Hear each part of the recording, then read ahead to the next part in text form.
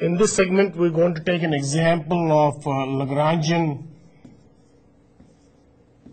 interpolation.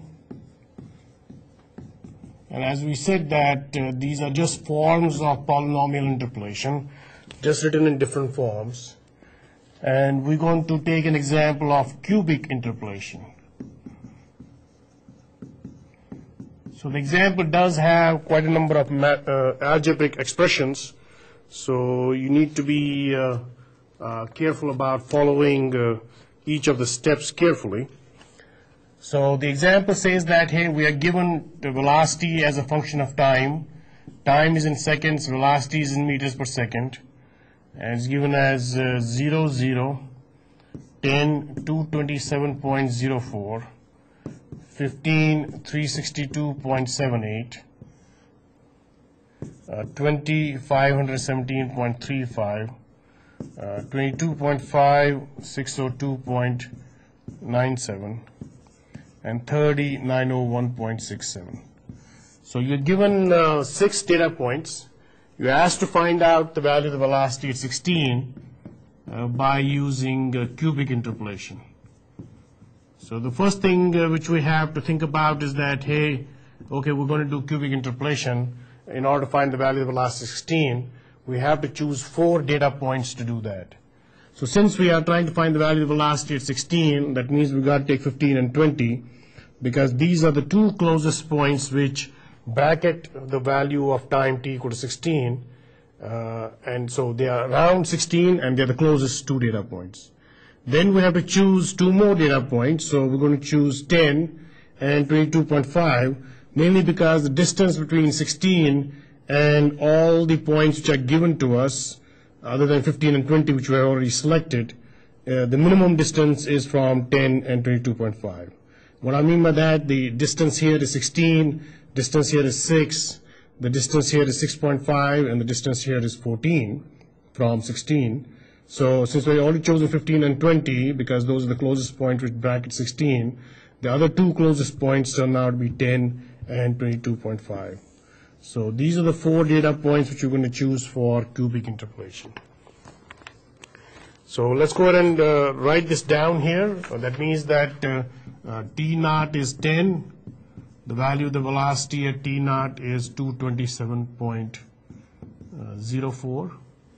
Then we have T naught equal to 15, uh, sorry, T sub 1 uh, equal to 15. So T sub 1 is equal to 15. The value of the velocity at T sub 1 is uh, 362.78. Then T sub 2 is 20. The value of the velocity at this particular point is 517.35. And then T sub 3 is 22.5 and the value of the velocity at this particular point is 602.97. All we're trying to do here is to isolate the four data points which you're going to choose for our cubic interpolation so that's clear that what subscripts of time and velocity we have uh, prescribed to them. So if you go back and look at the original formula for the uh, for Lagrangian interpolation, it will be summation of i equal to 0 to n uh, L sub i uh, t v sub uh, t sub i. So that is the uh, general formula for uh, for Lagrangian interpolation. And since we are doing cubic interpolation, that means that we'll have i equal to 0 to 3 uh, L sub i t uh, v sub t sub i. That's what we're going to have.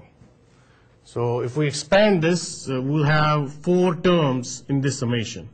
So we'll have L naught of t, uh, v sub t naught, that's the first term because i is equal to 0. Then L1 of t times the velocity at t sub 1, and then plus L sub 2 of t times the velocity at t sub 2, then L3 of t times the velocity at t sub 3. So what it's basically saying is that we have to calculate the velocities are given to us at these four different times.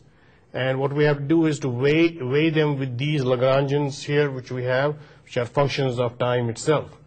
So if we are able to show what L naught, L1, L2, and L sub 3 are, then it simply involves substitution on our part. So let's go and uh, do that, uh, but let's be careful about what we mean by each of those. If you look at L naught of t, that is equal to uh, the product going from j equal to 0, always starts from j equal to 0, goes all the way up to the order of the polynomial which we have chosen, which is cubic in this case, so it's 3, and j will be not equal to whatever this subscript is, which is i, which is 0, and we'll have t minus t sub j divided by uh, t sub naught minus t sub j. This subscript is same as this subscript right here. So this particular uh, product here will then turn out be uh, t minus t sub 1 divided by t naught minus t sub 1.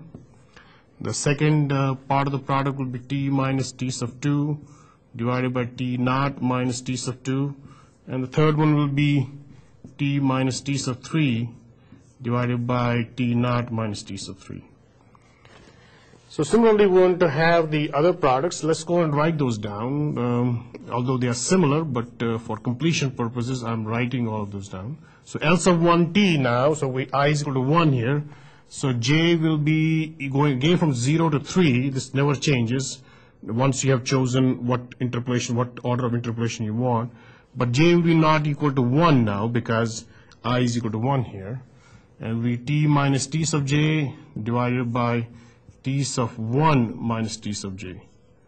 So this uh, expansion here will become uh, t minus t sub naught divided by t1 minus t sub naught.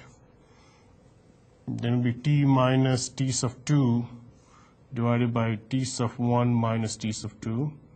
And then it will be t minus t sub 3 divided by t sub 1 minus t sub 3. So that's what L sub 1 of t is. So similarly, we have to find two more of these uh, weights, L sub 2t and L sub 3t. Let's go and find those. L sub 2t again will be the product. j will again go from 0 to 3, but j will be not equal to this number, which is 2. And again, it will be t minus t sub j divided by t2, which is this, minus t sub j. So just to expand this, we're going to get uh, uh, t minus t naught divided by t2 minus t sub naught. Then we have t minus t sub 1 divided by t sub 2 minus t sub 1. And then we have t minus t sub 3 because 2 will be skipped because of this. And we t sub 2 minus t sub 3. Same thing here for L sub 3t will be equal to pi j equal to 0 to 3 and j will be not equal to 3 now. Because again i is equal to 3 so j not equal to 3 again t minus t sub j divided by t sub 3 minus t sub j. This 3 is same as this one here. If we expand this we're going to get uh, t minus t sub naught divided by t3 minus t sub naught times t minus t sub 1 divided by t3 minus t sub 1 and then t minus t sub 2 divided by t sub 3 minus t sub 2. So those are how the weights of these each individual velocities will be calculated. So if I was going to now write down the expression for the velocity itself, uh, then all I have to do is to substitute these L1, L2, uh, L0, L0, L1, L2, L3 into the original formula.